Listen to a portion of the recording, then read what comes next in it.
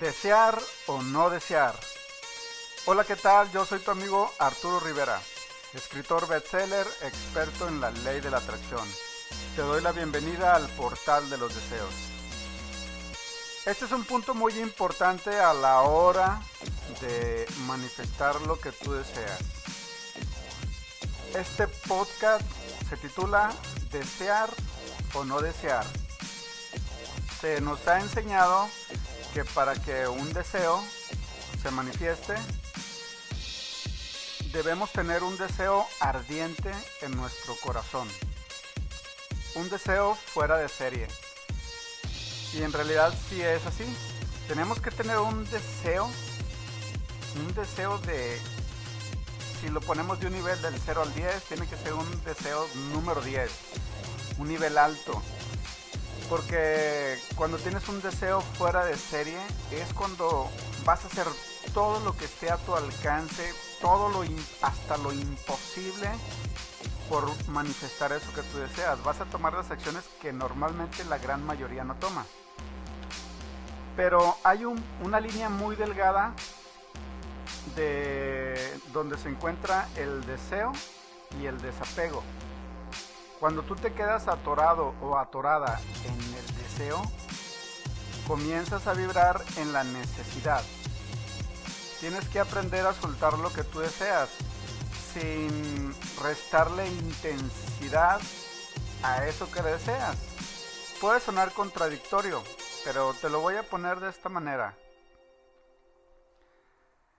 Ya había tocado en otro podcast el tema de la ley de la intención y el deseo. Esta es una ley que tiene dos caras. Por un lado tenemos el deseo y por el otro lado tenemos la intención. El deseo nos sirve para definir eso que queremos experimentar. Es lo que ocupamos, es lo que necesitamos, es lo que queremos. Y tiene un nivel de frecuencia muy diferente al otro lado de la moneda, que es la intención. El para qué el propósito.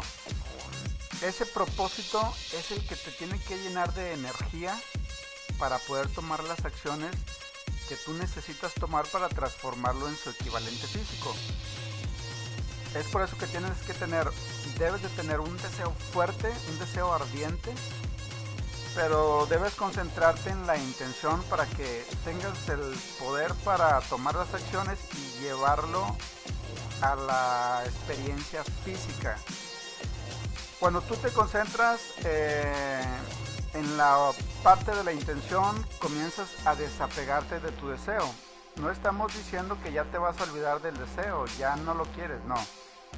Es algo que sabes que quieres experimentar, pero ya no estás ansioso, ya no estás desesperado o ya no estás eh, eh, frustrado porque no te llega al momento de que te concentras en la intención.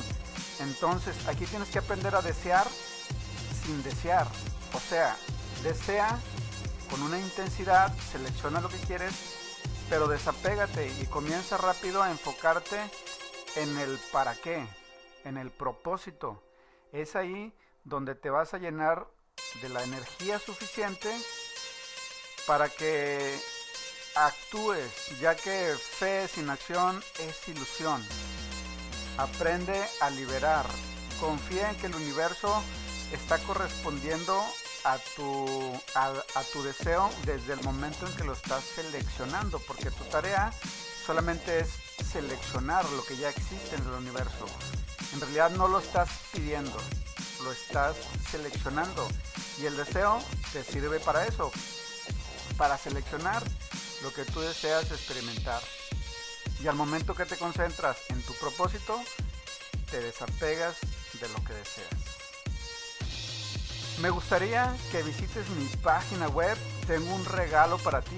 Te quiero regalar un pequeño libro que he escrito para contribuir con tu desarrollo personal.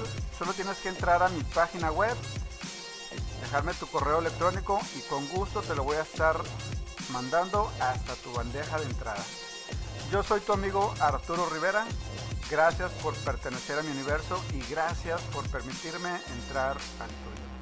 ¡Ánimo!